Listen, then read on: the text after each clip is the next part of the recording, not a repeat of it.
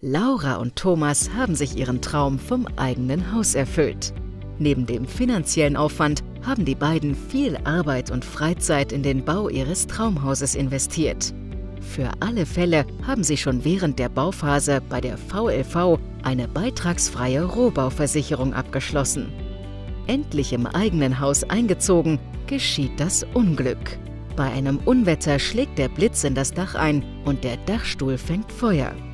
Zum Glück kann die Feuerwehr den Brand rasch löschen. Die beiden informieren Martin, ihren Versicherungsberater.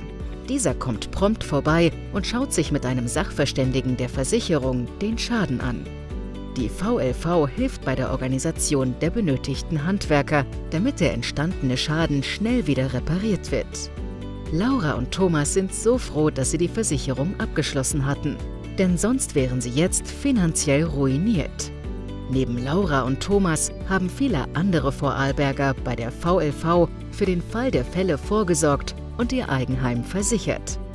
Weil alle einen Versicherungsbeitrag bezahlen, ist die Versicherung in der Lage, im Schadensfall finanzielle Hilfe zu leisten, welche die Beiträge des Einzelnen um ein Vielfaches übersteigt.